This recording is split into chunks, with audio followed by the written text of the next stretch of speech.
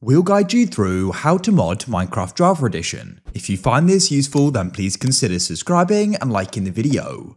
Mods can really switch up the game. They can go and add in different features amongst other things as well. So we'll guide you through step by step how this can be done.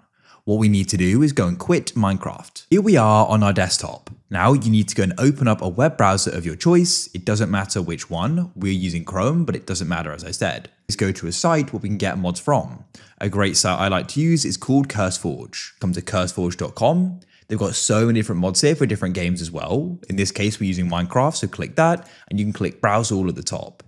If you've got a specific mod in mind, then you can go and search for it. But in this case, I'm going to go and find one I want to go and get. In this case, I want to go and get this mini map mod. This is really useful to have. So what we can do is go and click on it.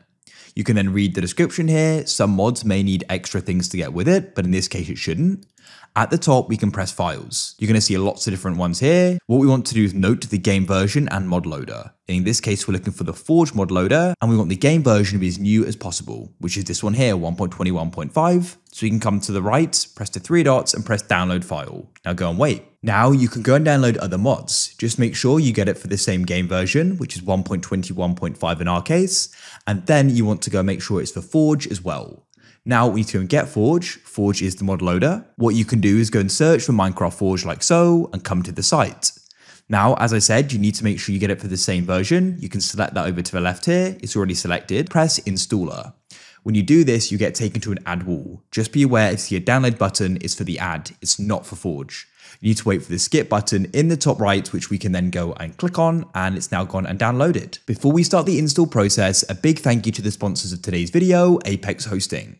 If you're in need of a Minecraft server, check them out, they'll be linked down below. And at the moment, you can get 25% off your first invoice. If we scroll down, we can start checking out some of their great features. For example, DDoS protection, keeping your server online, ultra latency, giving you a great playing experience, 24 7 servers and support, meaning you can get the help anytime you need it, instant setup, amongst many other great things as well. So definitely go and check them out. Now let's start installing and come to your downloads. What we need to do is go and find Forge first of all and double click on it. It should then go and open up like so. If it doesn't go and open up, what we need to do is we need to go and get Java. Come to a web browser and you want to go and type in java.com or just search for Java. Press download Java for desktops, then press download again, and when it downloads, install it. Return to Forge and right click on it, hover over open with and select Java, and it should then go and run. Select install client and press OK. What we need to do is go and install the mod. So press installations at the top and we need to go and locate Forge. Come over to the right and press on the open installations folder folder icon. And then what you need to do is go and scroll down here and go and find the mods folder. Drag in what we went and downloaded, the mods. I only have one there, that's fine. Then you can hover over Forge and press play to the right. Confirm you understand the risk of playing modified Minecraft. You're going to go and see the mods button on the home screen. Here it is, and you can go and see the mod I installed, which is the mini map in the top right.